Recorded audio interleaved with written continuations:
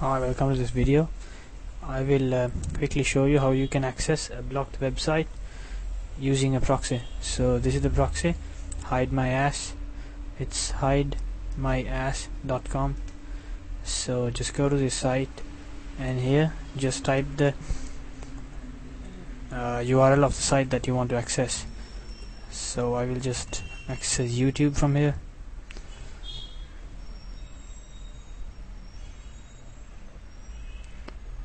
So if there are any blocked websites that you still want to get access to this is the easiest way. It's a free proxy but uh, it will be a bit slower than accessing the site uh, straight uh, without using a proxy because if you when you are using a proxy it will take a little longer than usual but still you can uh, get access to any blocked websites through hidemyass.com thanks for watching